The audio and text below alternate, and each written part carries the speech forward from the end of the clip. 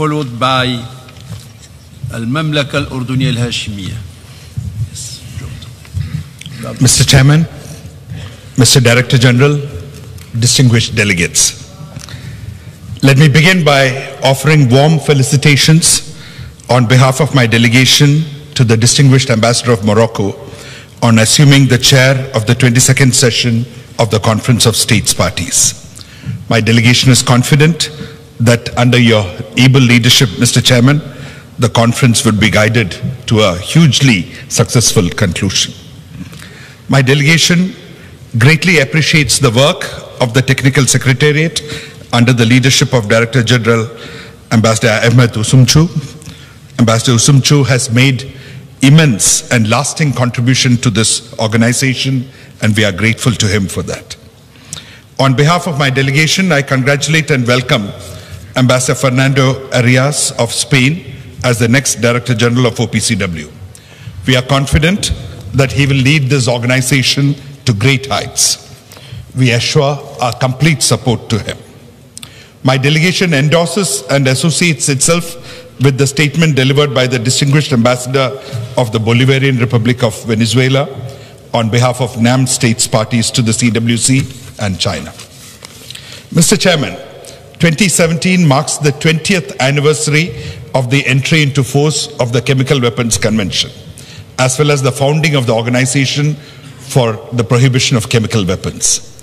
India attaches great importance to the Chemical Weapons Convention and stands for its full, effective, and non-discriminatory implementation.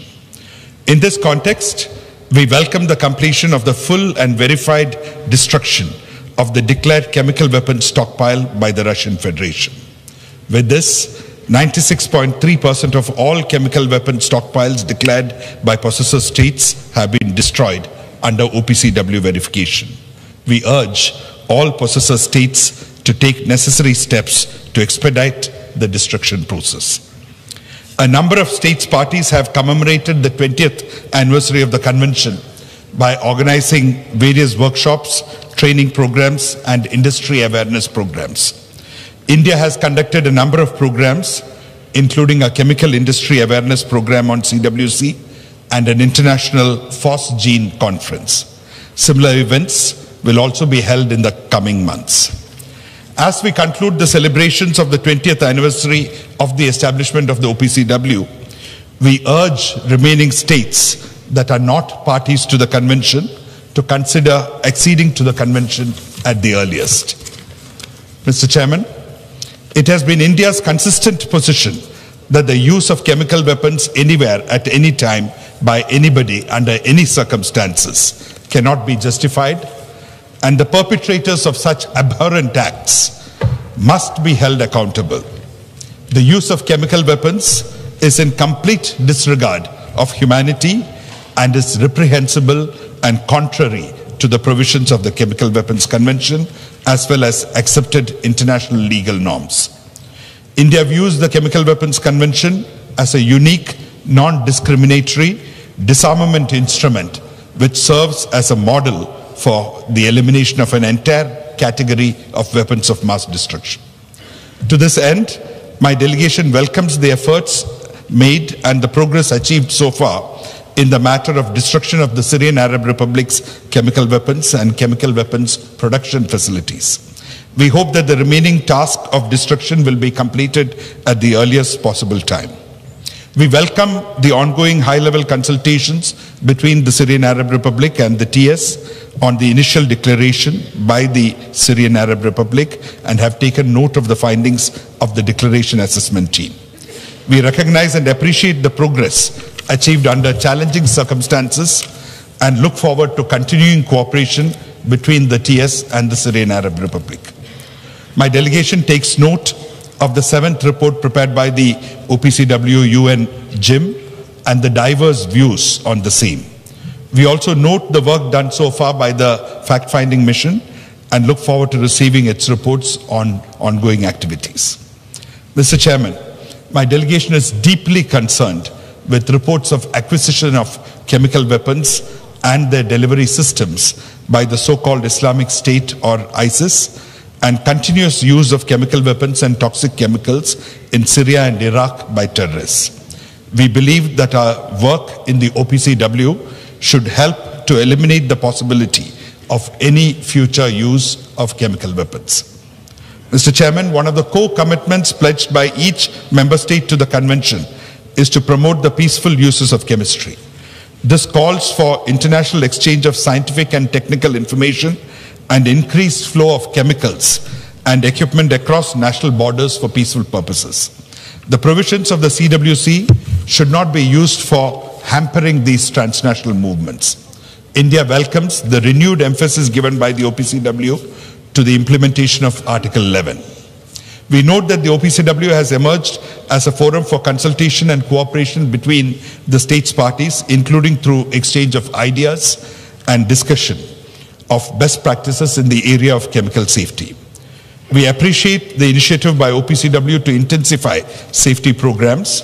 We request that these programs also focus on small and medium enterprises in order to assist them in dealing with the challenges related to chemical safety and security. My delegation also notes the efforts of the chairpersons of the open-ended working group on terrorism and the sub-working group on non-state actors. Mr. Chairman, OPCW has attained much success towards achieving its goal of a world free of chemical weapons and the threat of their use. However, there is no room for complacency as the ever-changing global security environment presents many challenges.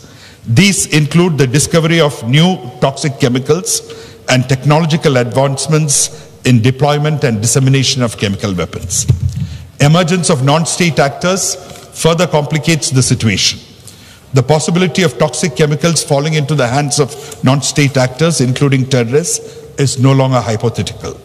This calls for enhanced vigilance and increased adaptive capacity for the organization. In such a scenario, effective national implementation provides a safeguard against such threats. We urge all member states which have not done so yet to give priority to national implementation measures as contained in Article 7 of the Convention. Mr. Chairman, we value the importance of education and outreach programs in achieving the goals of the Convention. We are hopeful that all the recommendations of the advisory boards would be subject to detailed deliberations and decisions are arrived at through consensus. India is cognizant of the fact that often science and technology is far ahead of our understanding of disarmament and non-proliferation. The interface between emerging technologies and their implications on international security is of vital importance. It is therefore important to view the developments in science and technology from an interdisciplinary approach. India tabled a resolution on the role of science and technology in the context of international security and disarmament at the 72nd session of the UN General Assembly First Committee. It is heartening to note that the resolution was adopted without a vote by consensus, reflecting the collective will of member states. Mr. Chairman, my delegation recognizes the efforts of the two co-chairpersons of the open-ended working group on future priorities of the organization. The work of the OEWGFP should be guided and driven by states parties and should address all issues related to the future of the organization in a balanced and comprehensive manner.